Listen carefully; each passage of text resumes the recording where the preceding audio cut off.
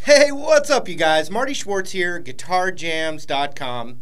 Got a John Lee Hooker inspired uh, blues guitar lesson for you. This kind of got that good uh, kind of bar blues vibe to it. Uh, little licks mixed in with uh, some cool chords. So I think it'll be helpful. All right, so it starts with a lick. I mean, it's it's all just kind of a E blues, which we love. We love the blues in E, and it's using this little transition from the open pentatonic to the next position up. You can learn those uh, on guitarjamz.com. But anyway, middle finger on the second fret of the G string right here. And we pick right before we slide it up a whole step to the fourth fret. Oops. And then your index finger is lined up right there to hit the third fret of the B string.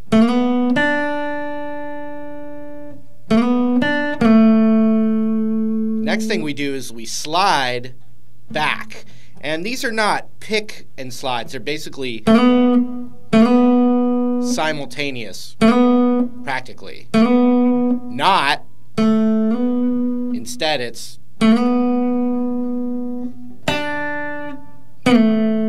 So, right when you pick, you slide it on the way back, too.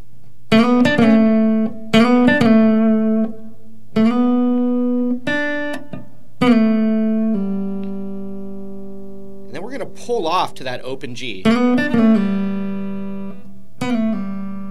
So that thing on the G string is one move with one pick. And this is kind of pulling off to get that open G string in there. Here it is again.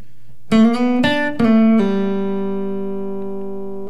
we're going to go 202 on the D string. And I'm doing another pull off. Lots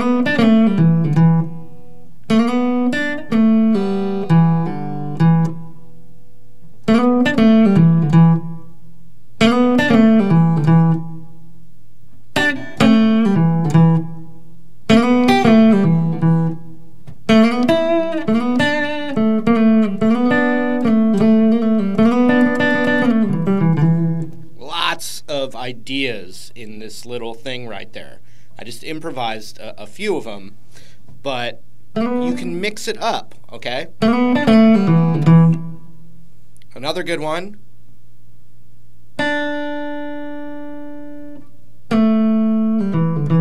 So third fret on the B, and then instead of sliding from the four, I'm sliding from this blues note, keyword of the lesson, blues note, third fret to second fret, like that.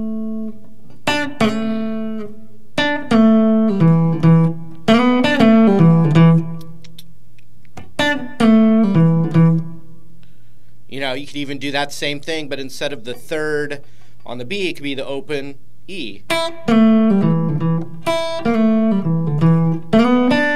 now I'm starting to teach you every lick that I've got. I need a few for myself.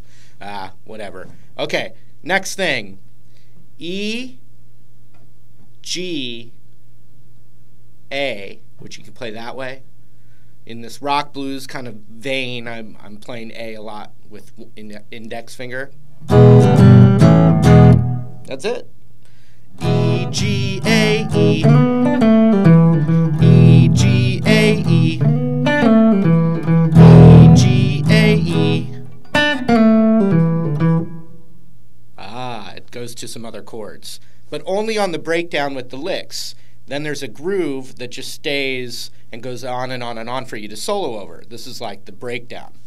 And it's basically the signature part of, of this of this guy's vibe. So here's what we got so far.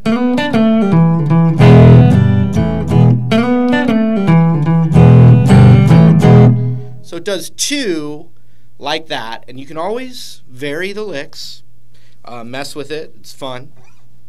Uh, you know, gave you a couple of little ideas to springboard off of. But so then it's the same licks, but then A, C, D, A, and I want to say A, C, D, C so bad. But that is why they're called that band. That's the only chords they use. No, I'm just kidding. Okay? So it does one of those, then the lick, back to the E. So here's everything we got so far. I'll do it kind of slow.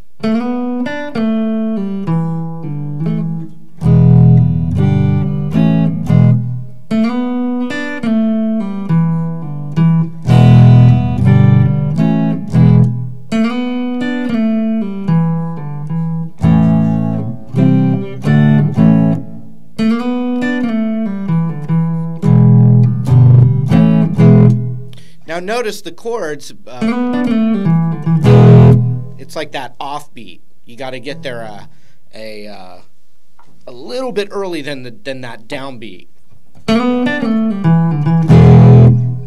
Not. Uh, it's not that. It's. Hope that helps. Okay, so we did everything. Then there's just one turnaround chord. The lick stays the same, and it's just the same thing on the five chord of the blues. So it starts on a. There's a few different ways to play it. This is the way I found.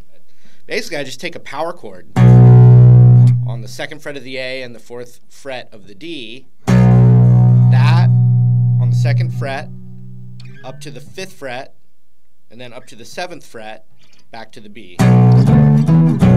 Like that.